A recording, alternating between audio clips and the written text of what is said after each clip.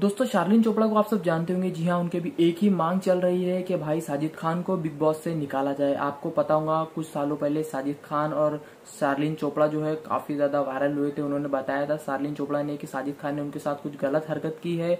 और अभी फ़िलहाल में शार्लिन चोपड़ा जो है, वो एक नोटिस दे रही है साजिद खान को बिग बॉस से निकाला जाए। उनके जो वकील है, पूरी तरीके से रेडी, आप यहाँ पर देख सकते हो। वीडियो आपको सामने प्ले होने वाली है। छोटी सी वीडियो जिसमें शार्लिन के जो वकील है, वो नोटिस कर रहे हैं बिग बॉस के अंदर। साथ ही में वो थोड़ी सी गुस्से में भी नज़र आई है। सलमान खान को भी गुस्सा नाराज़ करते हुए दिखाई दिए। तो पहले आप छोटी सी वीडियो देखिए, फिर हम बात करते हैं।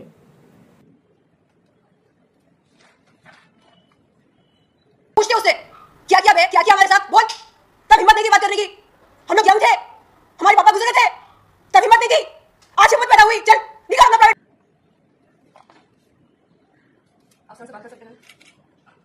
क्या लिखा है इसमें साइन के बाद फिर चौका जी बताएँगे कि ये किससे नौकरी जा रही है ये किससे जा रही है वो वो मैं बोलता हूँ सुहेल से बताएँगे। मैं सुहेल से बात कर रही हूँ। घना बैठ के बेटा चिल्लाते चिल्लाते।